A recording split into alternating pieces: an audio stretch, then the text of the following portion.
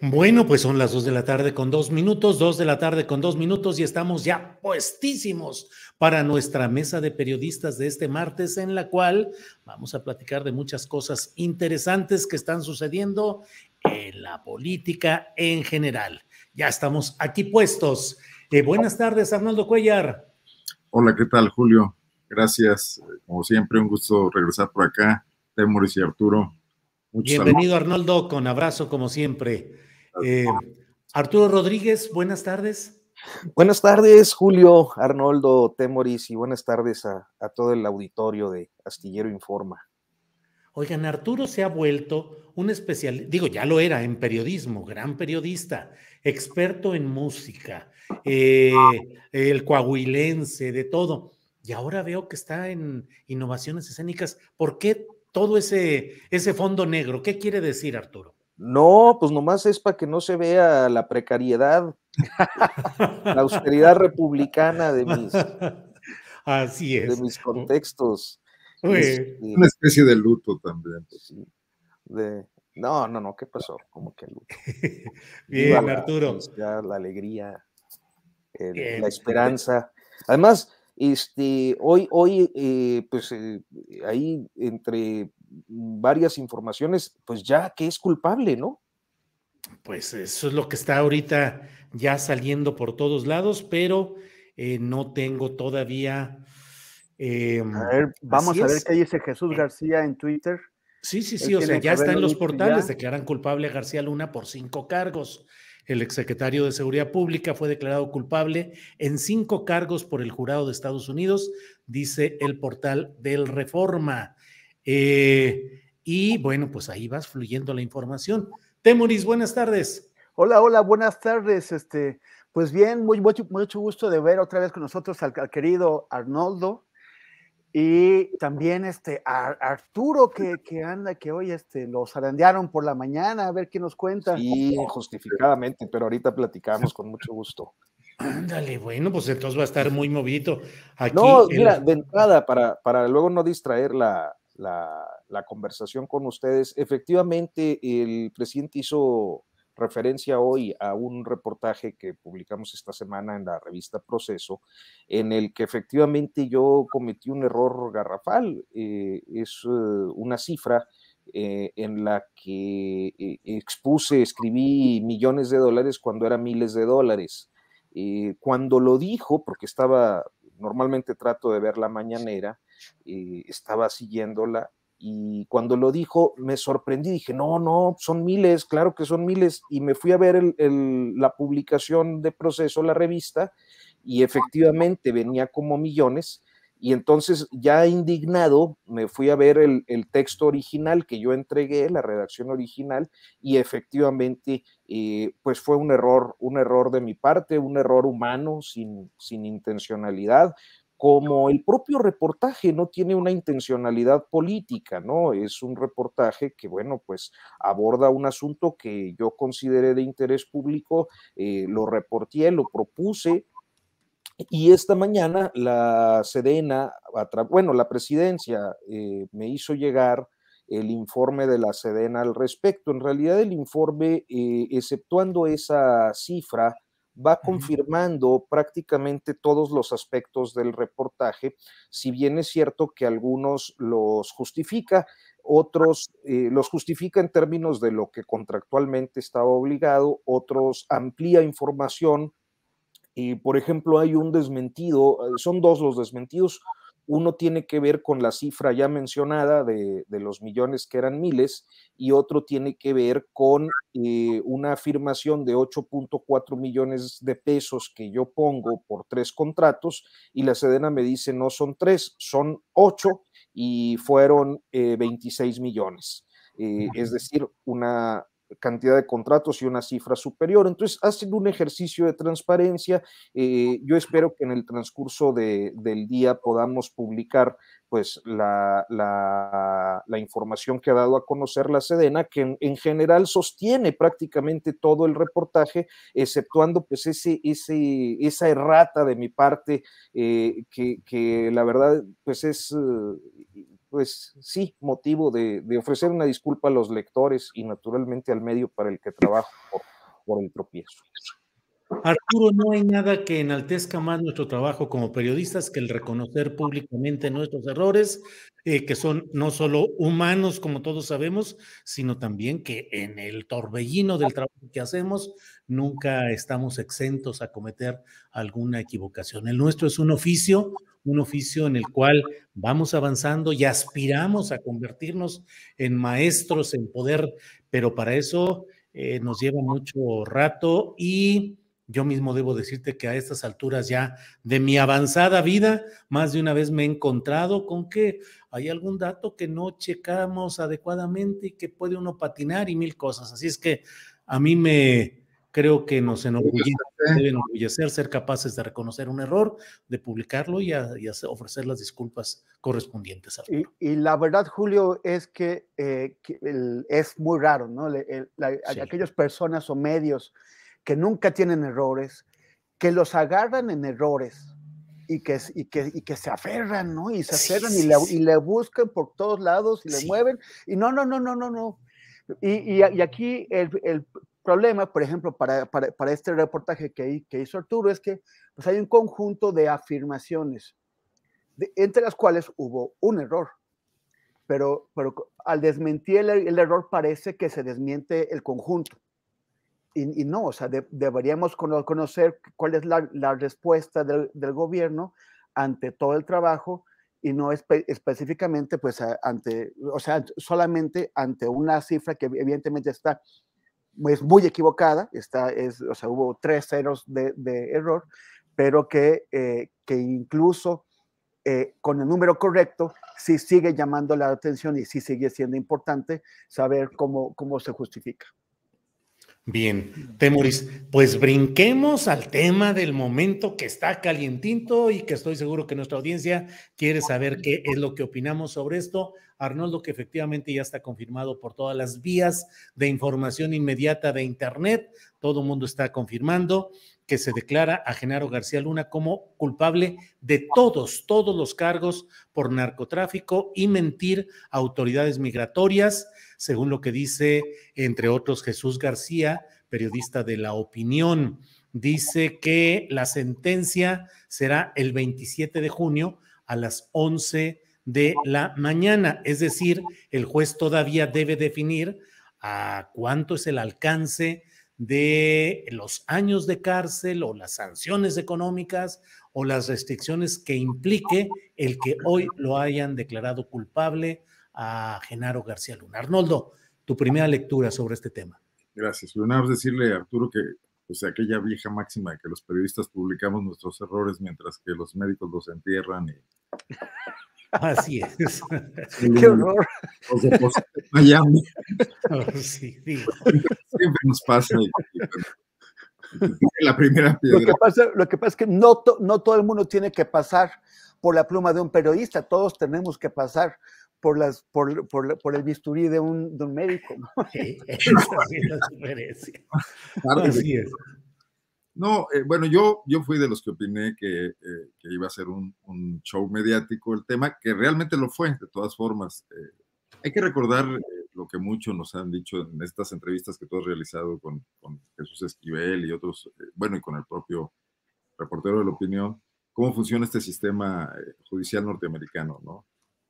hubo que convencer a un jurado no, no, no con elementos de prueba duros, como es el caso de la justicia mexicana, donde todavía esta fórmula, independientemente de que, de que tengamos el juicio oral ahora a medias, a caballo entre el viejo sistema y lo que se quiso cambiar con el modelo chileno, precisamente el sexenio de Calderón, todavía funcionan mucho los artilugios que le dan muchos pretextos, por ejemplo, a los jueces eh, federales para otorgar amparos y a los propios tribunales locales para a veces escaparse de la responsabilidad de, de mantener detenidos a los, a los responsables de delitos, ¿no? O de eh, hacerlo con quienes son inocentes, como ocurre en otros casos. ese jurado se convenció con lo que vio, con los testimonios que aquí tanto se cuestionaron por eh, algunos medios de comunicación, de que eran delincuentes quienes estaban atestiguando. aquí se dijo muchas veces, pues si García Luna trataba con delincuentes, ¿a quién quieren llevar? Ni modo que lleven a las monjas del Sagrado Corazón, ¿no? Eh, el jurado quedó convencido, Estados Unidos mantiene esta, esta lucha por frenar la gran ola de, importación de sustancias de que van de toda América Latina pasando por México y que los tienen en jaque en este momento, pero que ellos mismos son incapaces de combatir por sus complicidades internas, incluso por el tema de sus eh, grandes empresas farmacéuticas, que son algunas veces las que le abren la puerta a la, construcción de nuevas realidades socio eh, sanitarias con, estas eh, estos, eh, estas sustancias para atender el dolor de, de, una población afectada de muchas maneras, que además participa en, muchos eventos bélicos y que luego dan pauta cuando se reordenan eh, sus sistemas sanitarios a que, a que sean surtidas de forma ilegal. Yo creo que el fondo del problema no está atacado de ninguna manera, pero sí queda para México una enorme, un agujero que habría que de alguna manera atender, ¿no? O sea, lo que, lo que yo he dicho otras veces, insisto, ¿por qué aquí somos incapaces de juzgar este tipo de conductas? ¿no? Eh, ¿Por qué es tan fácil? ¿Por qué, por ejemplo, García Luna transitó de ese imperio criminal político a ser el proveedor privilegiado del siguiente gobierno, ¿no? De Peña Nieto. Y, solamente cuando logra otra fortuna haciendo eso y cree que desde Miami puede mantener ese imperio, es que se le cae el asunto por algún, alguna ruptura interna entre quienes habían sido sus aliados en las agencias norteamericanas. ¿no? Eh, no podremos nosotros combatir nuestro propio problema, que es el, el, que ya tenemos una realidad también de un consumo masivo de drogas que afecta a generaciones enteras y la violencia asociada, es mucho mayor que en el de los Estados Unidos, tienen el problema de las adicciones, no tanto el problema de la violencia de los territorios sin ley ya fuera de la jurisdicción del, Estado y de los diferentes niveles de gobierno, si no hacemos aquí lo propio. Yo tendría serias dudas de que haya habido un cambio trascendente en ese tema, incluso con las detenciones que han estado presumiendo los últimos eh, meses después de lo de Ovidio, porque nuestro sistema judicial sigue siendo muy deficiente y de nada se vale que el ejército, incluso la Guardia Nacional, que todavía tiene mucho que avanzar y mucho que probar de su eficiencia, eh, no, no, son los encargados de procesar los delitos, sino que son los jueces y son los, los magistrados. Y ahí es donde creo que coincido con muchas de las críticas que hace el propio López Obrador y que han hecho desde el pasado muchos abogados litigantes y otros especialistas un sistema judicial eh, bastante errático. Entonces, no, no me atrevo a festejar el tema de García Luna porque creo que poco nos trae de concreto, salvo las ganancias políticas que eventualmente eh, aprovecharán quienes tengan que aprovechar. Digo, a ver qué nos dice ahora, con qué artículo en la portada de Reforma sale Felipe Calderón, ¿no? Que por cierto, habrá que comentar del pasado domingo, porque también tiene demasiados asegúnes, además del silencio que tú has señalado muy bien, Julio. Bien, Arnoldo. Eh, Arturo Rodríguez, ¿qué impacto en lo político? Eh, es la parte final de lo que nos dice el propio Arnoldo. ¿Qué sucede en lo político? ¿Es un golpe directo al calderonismo, al panismo? Políticamente, ¿qué significa el declarar culpable por los cinco cargos a Genaro García Luna? Mira, yo, yo sí eh, ah, no puedo dejar de sentir una, un cierto regusto por, esta, a diferencia de Arnoldo, por esta sentencia. Y, Me sumo. sí, también digo, la verdad. Yo creo que quienes eh, cubrimos eh, durante aquellos años el proceso de descomposición y de violencia que vivió el país, sobre todo en territorios pues que se vieron desbordados, eh, algunos de los cuales todavía no logran reponerse o superar su dinámica de, de inseguridad. Y, teníamos eh, desde los primeros años una claridad que era la eh, pues inevitable eh, conciencia de que lo que estaba ocurriendo no podía desvincularse de las cúpulas del poder político en este país. Y en ese momento, de, 2006, 2007 hasta 2012, y quienes estaban en la cúpula, pues era el presidente Felipe Calderón con todo su gabinete.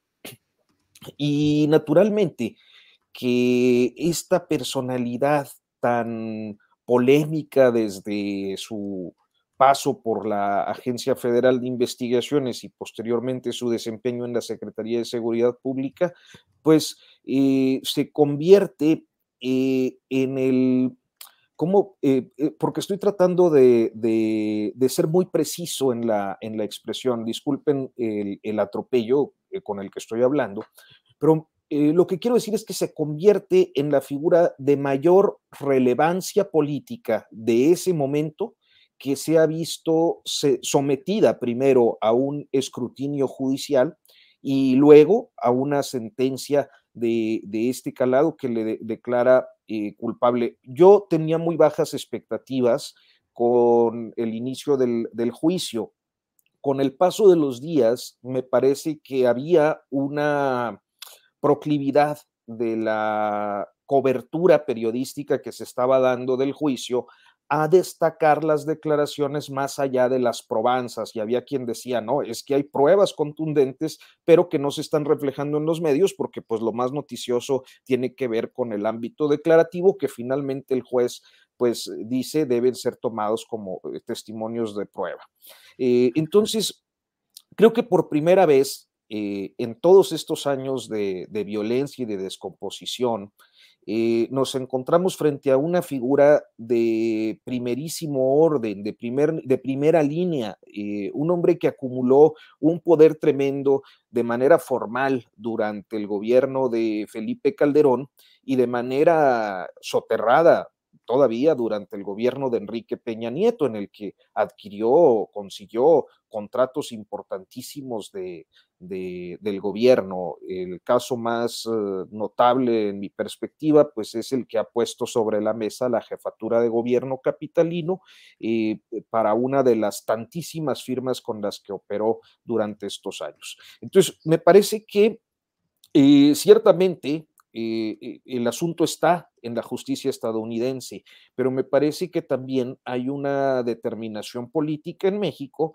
de, empezando por el propio presidente, de que este asunto pues también tenga sus implicaciones nacionales eh, y, que eso nos podría llevar en determinado momento al establecimiento de mapas de relación y de involucramiento de otros responsables para arriba, que nada más sería eh, el expresidente Felipe Calderón, y para abajo o para para eh, los lados eh, y que podría implicar a otros funcionarios. Y a mí eso me encantaría porque si algo ha caracterizado la historia política de este país es la impunidad, la corrupción y la impunidad. Entonces, eh, pues es, es creo que un momento importante en ese sentido. Que hay tajadas políticas, pues sí, es natural que las haya ante una situación como esta, que es escandalosísima. Secretario de Estado condenado en el extranjero por delitos relacionados con la delincuencia organizada. Es algo de primera línea, de primer orden. A mí me parece que eh, estamos ante un, episodio auténticamente histórico. Bien, Arturo.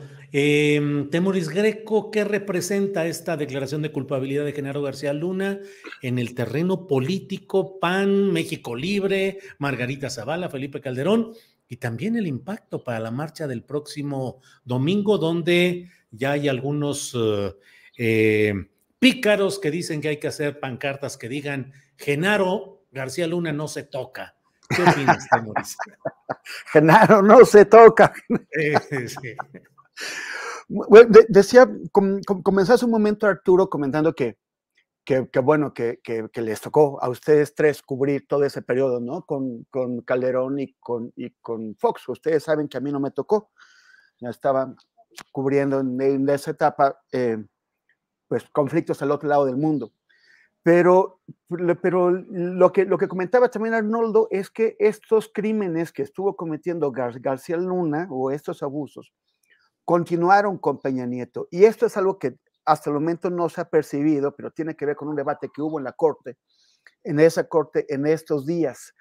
eh, sobre la continuidad de la asociación criminal que encabezaba eh, García Luna. La, defensa pidió que se, que se abandonaran los cargos contra García Luna, los, los cuatro cargos por asociación criminal y narcotráfico, porque e, ellos, ellos dijeron estos crímenes habían dejado de, de cometerse en 2012, cuando García Luna sale del gobierno, porque acaba el gobierno de Calderón, y por lo tanto ya habían prescrito.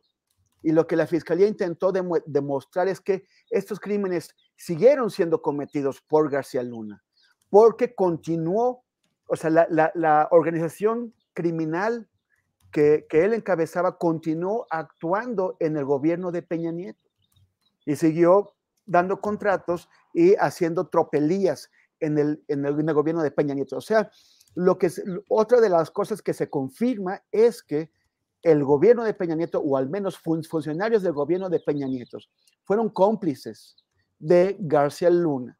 Entonces, toda esta gente, desde el foxismo, el calderonismo y hasta el peñonetismo, pues quisiéramos saber quién va a proceder contra ellos. Porque una cosa es que una pequeña parte de todo lo que hicieron haya sido ya desvelada en la, mañanera. Y otra cosa es que la Fiscalía General de la República efectivamente proceda contra ellos. Y hasta el momento no hemos visto nada, no hemos visto nada sólido.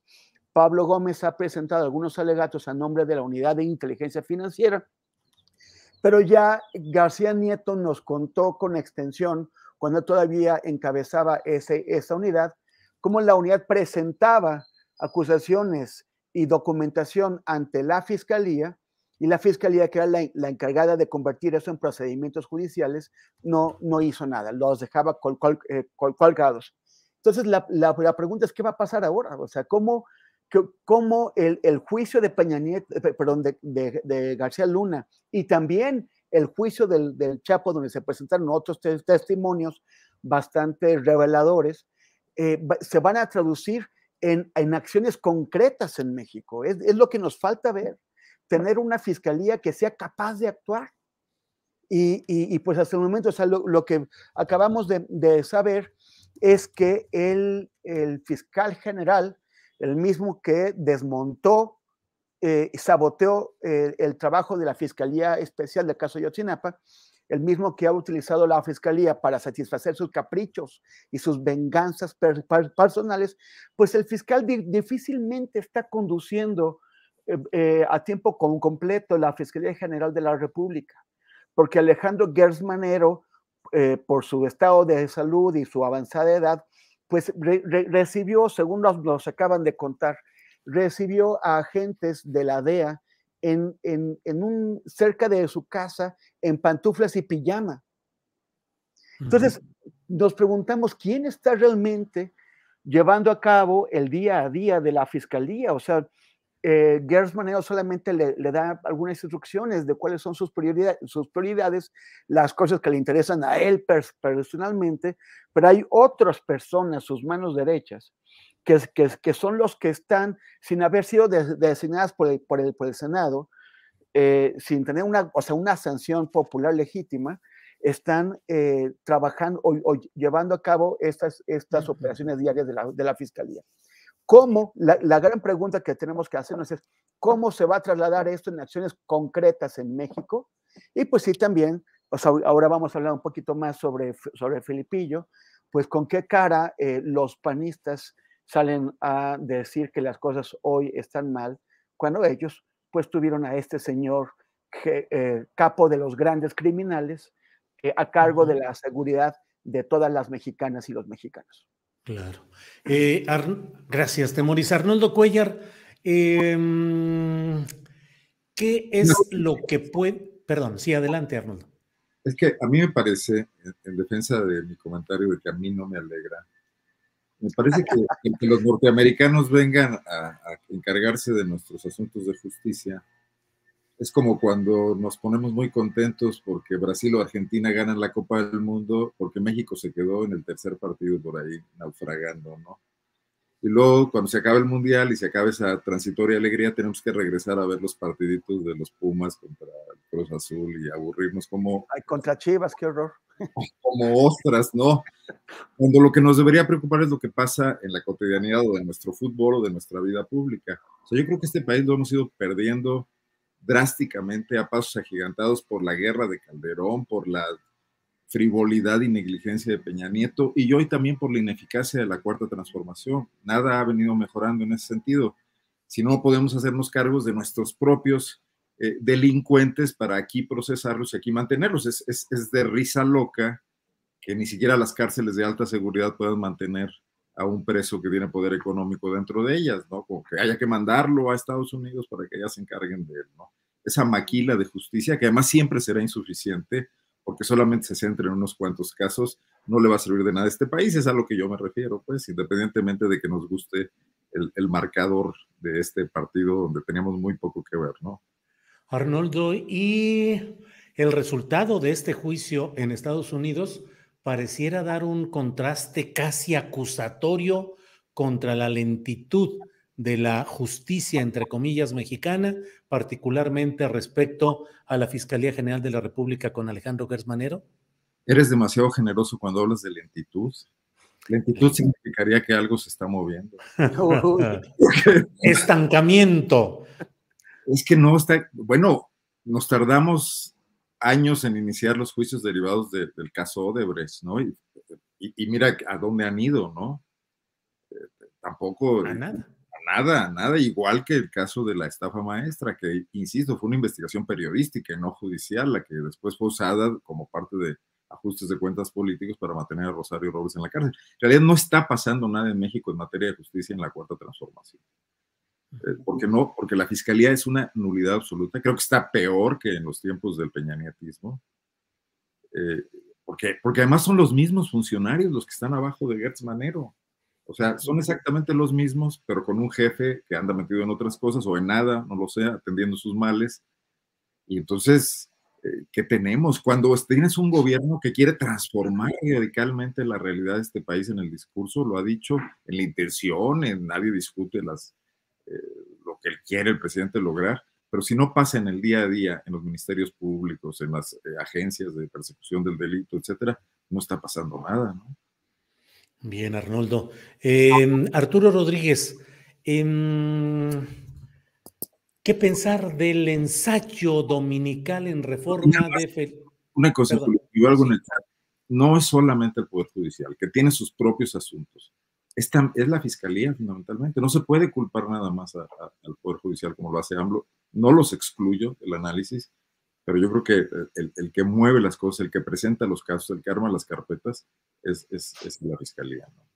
Sí, Arnoldo, es que finalmente es un binomio del cual no solo no se ha podido resolver nada, sino que sigue eh, imbricado, sigue entreverado, que es la operación de las fiscalías, las agencias del Ministerio Público, eh, todo el aparato de procuración de justicia y la otra parte, que es la judicial, y con frecuencia se carga la tinta, no sé si con razón y con pruebas, en el sentido de que la culpa es de los jueces, pero no solo de los jueces, también de los fiscales y los ministerios públicos y el otro aparato que presenta con frecuencia intencionalmente mal los procedimientos para luego sembrar los errores que van a estallar en el Poder Judicial, Arnoldo. Y no se nos olvide que el único responsable de que esté ahí Gertz es Andrés Manuel López Obrador. No, no, ahí no estoy de acuerdo, querido.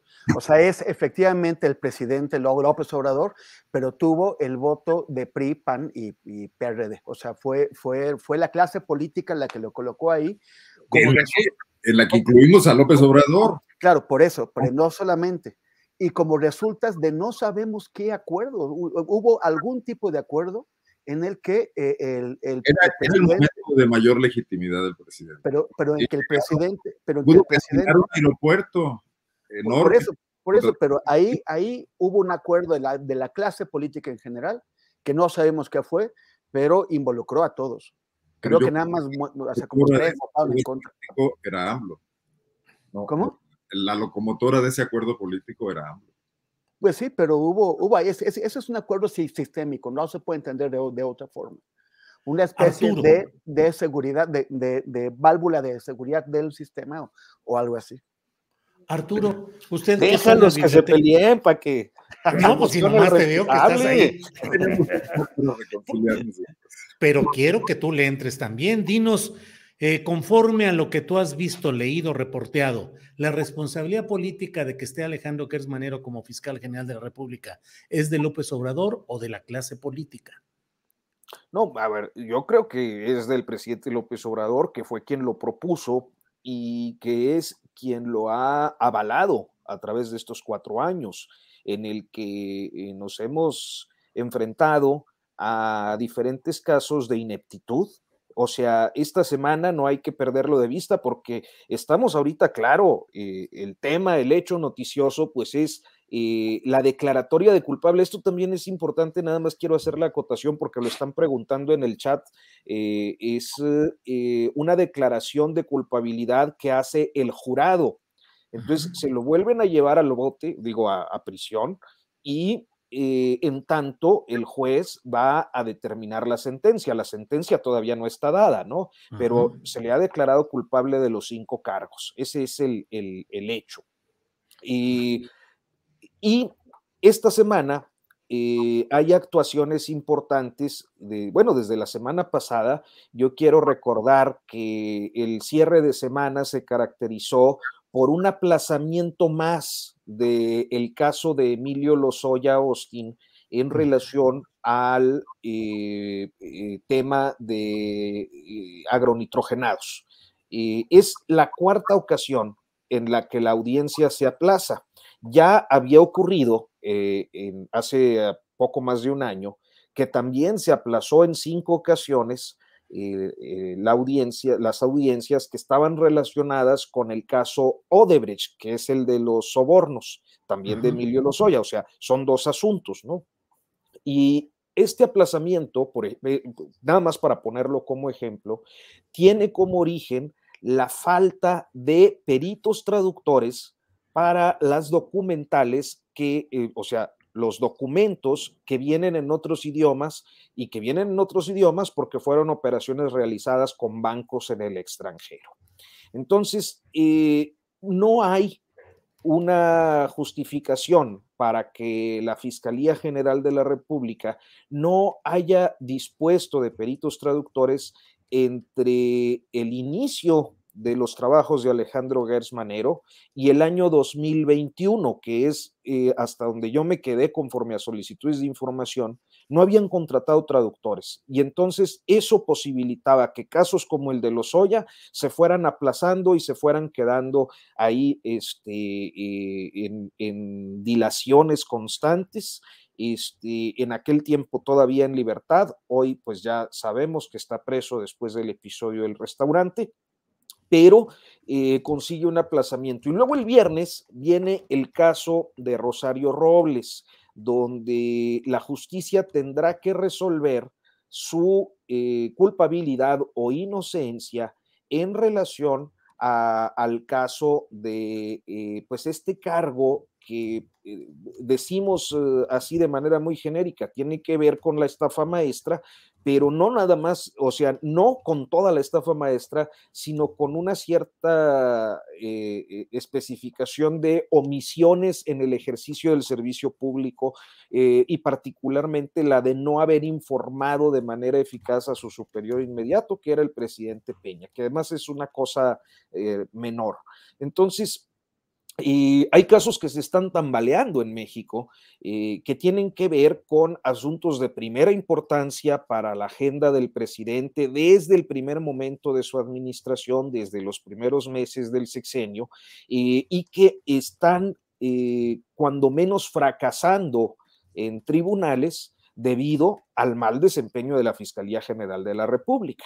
Ya irnos al caso García Luna es todavía un poco más complejo porque hasta donde entiendo, la unidad de inteligencia financiera aún no eh, pues establece las denuncias o, interpone las denuncias correspondientes. Sabemos que los procesos de justicia de por sí son largos, pero estos dos ejemplos, eh, por ser asuntos pues auténticamente escandalosos y que involucran a personalidades de, pues, del gabinete peñanietista y de la corrupción del sexenio pasado, pues están fracasando, naufragando por, por una fiscalía que pues, no, no está funcionando como debiera. Bien, Arturo, gracias.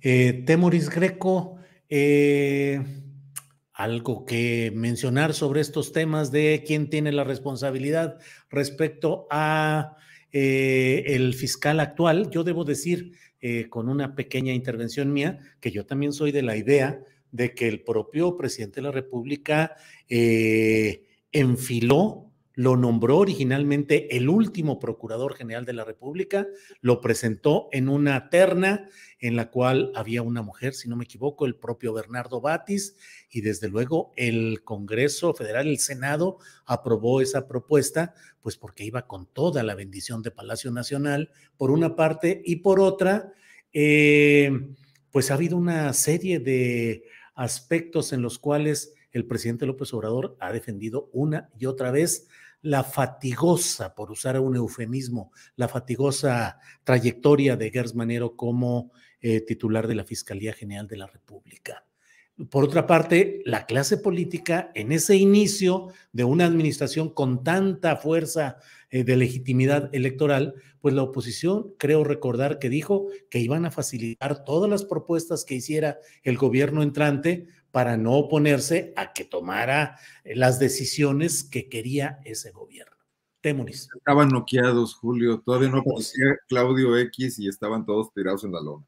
Claudio X, pues sí. Temuris. Eh, estoy, estoy leyendo lo que, lo que escribiste después de esto y comentabas, eh, Julio, que eh, aún estaban los senadores auscultando los tres finalistas y ya se estaba proclamando que el voto del partido en el poder sería en, el, en favor de Gertz.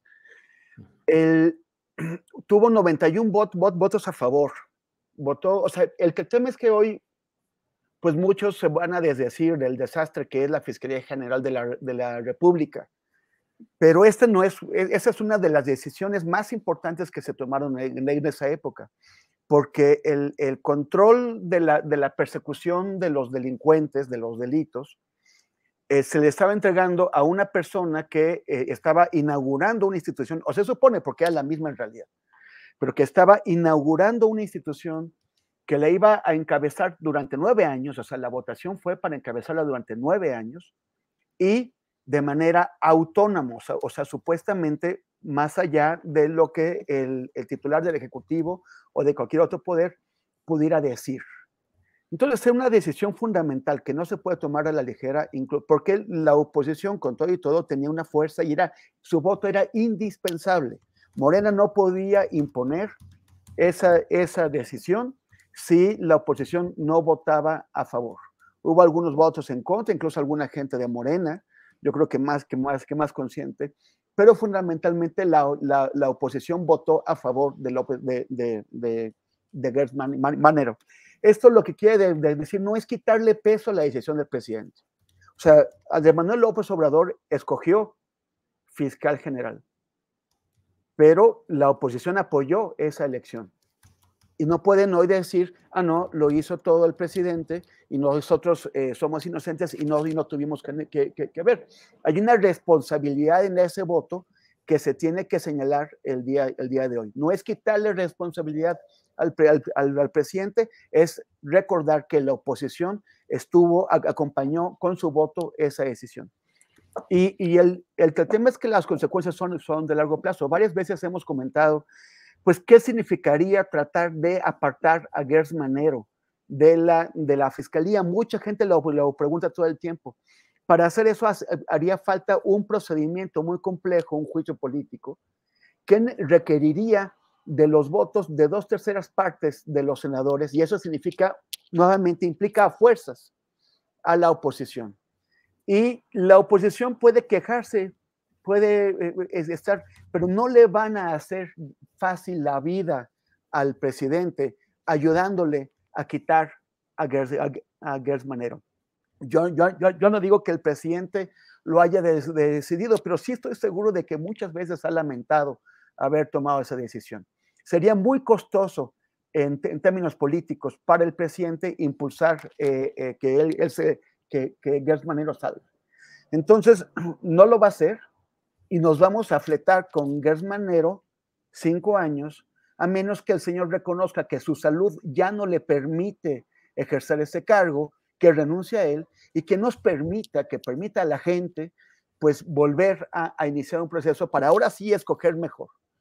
Yo estoy seguro que ese voto de la oposición no se hubiera dado si no hubiera habido un gran acuerdo adentro del, del sistema, que fue parte de la transición, un acuerdo adentro del sistema para asegurar la impunidad de muchos adentro del mismo sistema.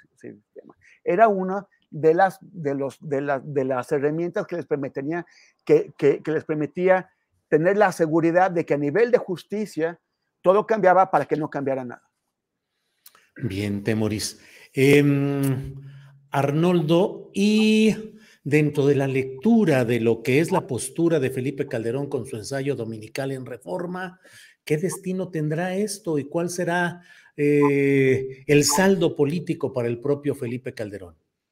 A mí me parece terrible que Reforma, que está tan activo en la construcción de este movimiento que, no es solo en defensa del INE, sino que es un movimiento de construcción de escenarios para el 2024, para una plataforma política, para entregársela a quien mejor represente sus intereses, no haya encontrado otro ideólogo que Felipe Calderón. Porque además el ensayo es muy malito, el, texto es muy malo. Felipe Calderón fue el presidente que más mano le metió al PAN, más que Fox siendo presidente de la República que puso allá a César Raba, puso a Germán Martínez, que bloqueó muchas iniciativas, eh, que vulneró muchísimo la democracia interna al estilo panista, pues los espacios de deliberación que tenía ese partido, que luego aprovechó muy bien eh, Ricardo Anaya y también Madero, ¿no? Gustavo Madero para, para construir ese pan que hoy Marco Cortés maneja más o menos eh, de manera absolutista, ¿no? Más o menos como el presidente maneja su gabinete, ¿no? Eh, mm, entonces, ¿cómo se atreve hoy Calderón a proponer que la sociedad se apodere de los partidos políticos? Eh, es un descaro terrible. El tipo tuvo el máximo poder en ese momento. Pudo haber de. Es más, creo que Cedillo fue ligeramente más congruente cuando marcó la sana distancia con el PRI, por lo menos declarativamente, ¿no? Este Calderón no, ejerció un poder eh, tipo priista, tipo salinista o echeverrista en, el PAN de entonces. Hoy propone esto que además lo pone en ruta de colisión directa con Marco Cortés, con Alito y, bueno, no me atrevería a decir que con los chuchos, porque eso ya es un exceso de mi parte, ¿no? Pero eh, va destinado a nada. Creo que es subversivo hasta la propia construcción de escenarios que quiere la alianza opositora, ¿no? porque esa sociedad civil a la que apela, que es muy difusa, es a lo que los partidos más le temen, más han rechazado, de la que se han defendido, llegando a los acuerdos políticos con los que has construido el INE, con los que han construido el financiamiento, con los que se han repartido los organismos autónomos en el Estado mexicano, con los que se han repartido las eh, posiciones plurinominales también. Entonces, pues, es, es una, no sé, no, no sé cómo llamarle porque aquí fue el entusiasmo total. El AM, que, está muy instalado en la línea de reforma, el periódico AM de León, lo publicó de ocho columnas, ni siquiera tuvo el decoro de publicarlo como un artículo de portada, ¿no? Era la nota de ocho. En este arrebato de querer darle a la marcha del próximo domingo un carácter que yo difícilmente dudo que llegue a tener, ¿no? Que no es, no es el INE, es el 24. No es el INE, es el 24. Bien, Arnoldo. Arturo Rodríguez, em, no es el INE, es el 24. ¿Qué impacto vamos a ver con todo lo que está pasando en estos momentos con este juicio eh, que es ya desfavorable, que ya ha emitido el veredicto en contra de Genaro García Luna? Pero Arturo, faltan más, eh, como dirían por allá de la tierra que tú eres, faltan más pelados por entrar al redil de lo policiaco y de lo judicial.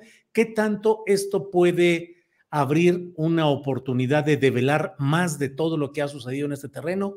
¿O en México está bastante blindado todo el proceso de investigación y con lo que hemos conocido en Estados Unidos, pareciera que hasta ahí llegaremos.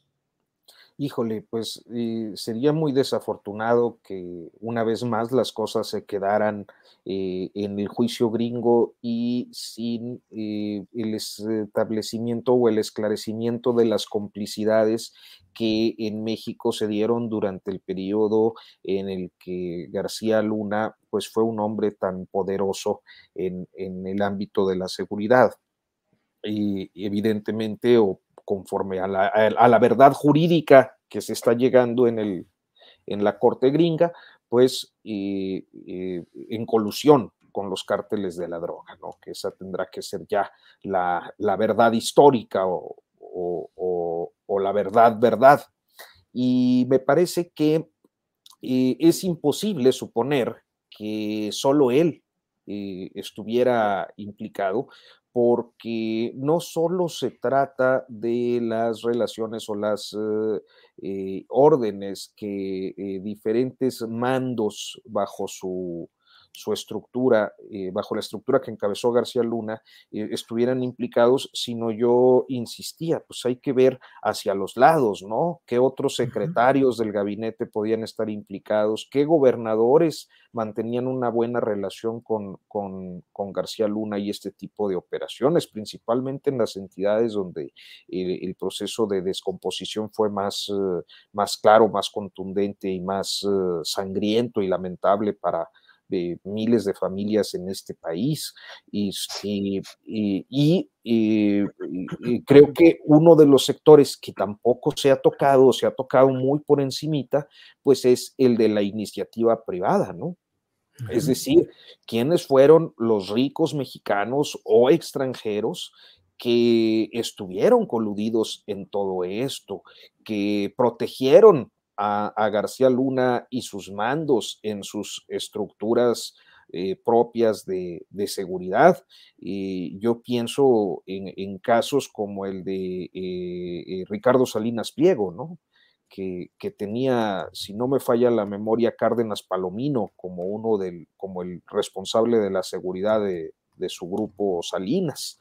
Este, el hecho de que Cárdenas Palomino y una serie de relaciones personales nos lleven, por ejemplo, al sexenio de Peña y a la relación que tenía con los Alfredos, ¿no?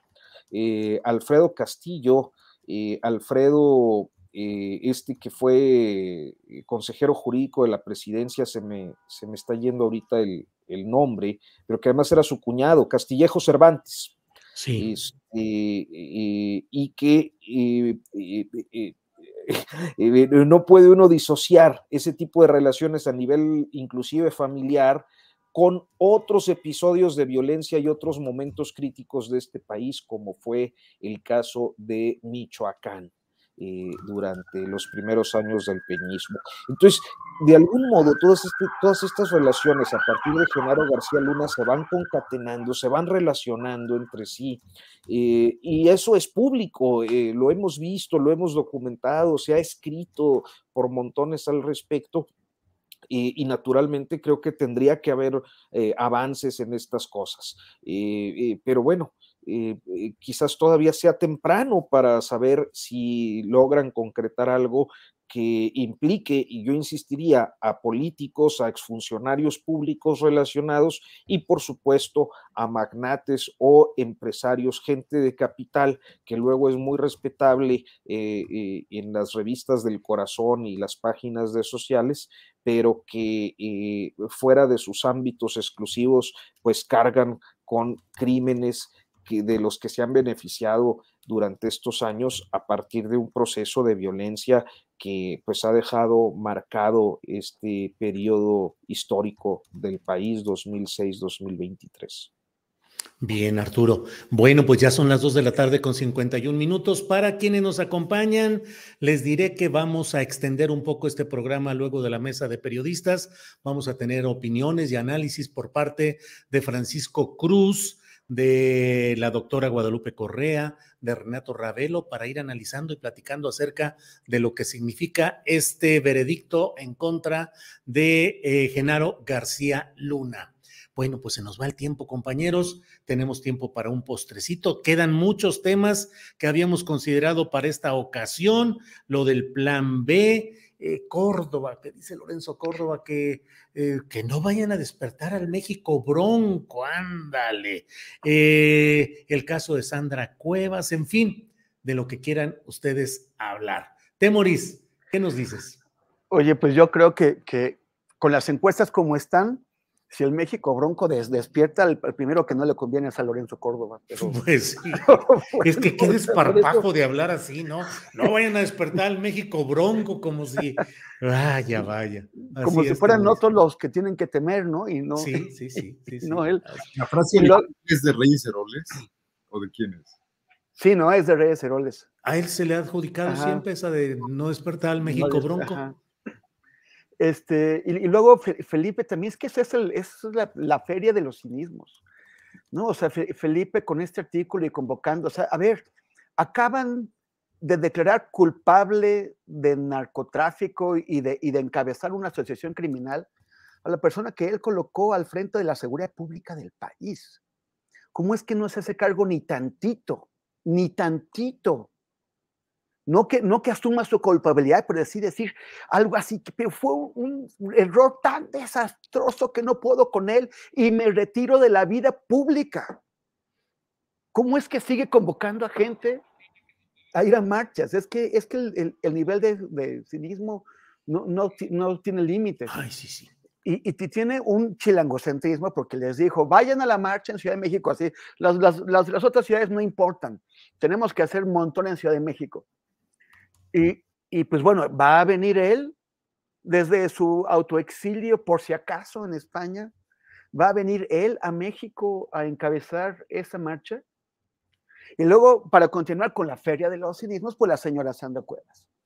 Se compra un departamento frente a la Alameda de, Santa María de la Ribera, decide que no le gusta que los, las, las, personas de la tercera edad que se reúnen ahí desde hace 12 años, mucho antes de que ella comprara su depa, eh, de que, se reúnen ahí a bailar, pues que le molesta el ruido, manda a sus golpeadores en contra de ella, y luego alguien por ahí la reprende, entonces decide echarle la culpa a dos de los, de los, de los golpeadores que ella mandó, y luego todavía manda a inspectores a hacerle la vida difícil a una, a una librería que está ahí, que se llama Volcana, donde alguna vez ya di una charla.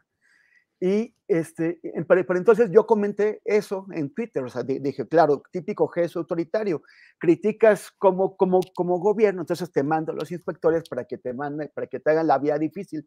Y Sandra Cuevas me contestó con una especie de truco tan raro que dice, ay, es que este, los, los de la gorrita guinda pues son de morena, que no, es lo que me dijo. Mm. Pero en la gorrita guinda dice claramente, grande, letras mayúsculas, alcaldía porque esos inspectores del INVEA, que, es de la Ciudad de México, esos son inspectores comisionados a la alcaldía para que la alcaldía opere con ellos. O sea, fue Sandra Cuevas quien, les, quien los envió para reprimir a la gente de, de, de, Volcana. Pero ella se quiere hacer como que no. Y luego resulta que México no la merece, porque hoy dijo, ¿no? En, en, en, el hueso, dijo, la política es un asco y, me retiro y me retiraré de la política cuando, cuando termine mi periodo. Ojalá se retirara ya, pero resulta que, que es la política la que es un asco, no ella como una persona con un ego absolutamente desbordado, es uno de los más eh, obvios que hemos visto, que, eh, que, ha pisoteado los derechos de las personas, que les ha aventado pelotas con dinero a la gente, que eh, es, es ella la, víctima de la política, cuando en realidad es ella uno de los ejemplos más claros, más, más indisimulados de lo que hace efectivamente un asco a la política mexicana. Ojalá que, que, sí se vaya, ojalá que se fuera ya, pero sobre todo ojalá que la, la, Fiscalía de la Ciudad de México proceda contra ella por todas las tropelías y por todo lo que ha afectado a la gente que vivimos en la alcaldía Cuauhtémoc. Bien, Temoris. Eh, Arnoldo, postrecito o lo que tú quieras abordar, dulce, amargo o semi-amargo. Bueno, nada más decir que eh, el tema de la, bueno, la famosa polarización, que, la palabrita me choca porque realmente pues, un país tan desigual necesariamente, o sea, mostrar la polarización no es más que abrirlo en canal para ver lo, mal que está por dentro y el otro era seguir simulando que no pasaba nada, ¿no? Pero esto va a seguir, o sea, vamos a estar en todas estas batallas con dos posturas muy claras, radicalizadas, donde nadie va a convencer a los otros y vamos a llegar así a, la elección. Menuda tarea para, para los candidatos a la presidencia de la República, cualquiera que sea, si logra la alianza multicolor y desigual también pretende erigirse como representante del, del anti-López Obradorismo, que no lo consigue mucho y que ha sufrido una derrota hoy con el tema de García Luna. Y del otro lado, ese también rompecabezas que es Morena, pues van a llegar eh, a un escenario muy, muy complicado. Además, con el INE manoseado, manoseado en dos sentidos, por sus últimos representantes a punto de irse y que pareciera que no quisieran irse, sus titulares, y también por el intento de, reforma no consensada, ¿no? Y, que hoy está sufriendo estos rearreglos en las cámaras, como pasó en el Senado ayer en comisiones, por parte de la misma partidocracia que lo ha convertido en el, en el Frankenstein que es, ¿no? Entonces, eh, con menos habilidades políticas, por ejemplo, en el caso de Morena, ninguna de las corcholatas, bueno, podríamos suponer si Ebrar Ebrar pues no deja de ser un misterio porque es un muy buen burócrata de alto nivel, pero nunca lo hemos visto en una posición de liderazgo absoluto, ¿no? Con la responsabilidad, o Claudia Sheinbaum, que además ha mostrado que en situaciones de, estrés también no, no, las trae todas consigo. Eh, ¿cómo, ¿cómo, logran eh, salir de ese entuerto, no? Eh, yo creo que nos espera una temporada complicada y difícil como país en general por todo esto que estamos viendo. Vaya, pues sí. Em, bueno, pues vamos en la parte final. Arturo Rodríguez, eh, ¿qué nos dices en este cierre ya de esta mesa, por favor, Arturo? No, que a veces son muy duros todos. ¿Por qué? Sandra Cuevas, pues es una mujer muy tierna con su osito. Osito. Este, dando a la gente de manera lúdica con pelotitas y viene Temoris y le zorraja, la pobre. El chat que es una barbaridad. La verdad, la verdad es malo. Sí, tienes mal, mal corazón. Sí. Este, mucha amargura, decíamos la semana pasada. ¿eh?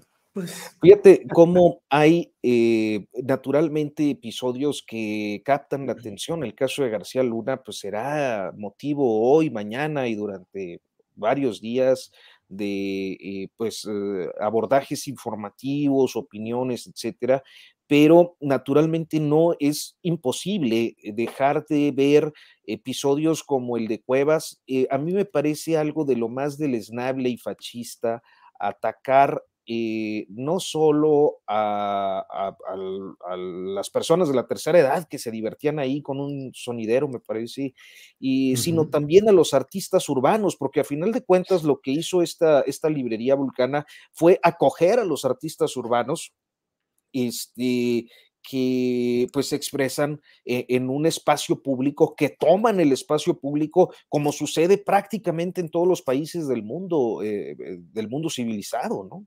Es decir, eh, eh, digo, Temoris, por ejemplo, que es un, trotamundos, pues habrá visto expresiones artísticas en, los lugares más emblemáticos y, en las plazas más bellas de numerosos países.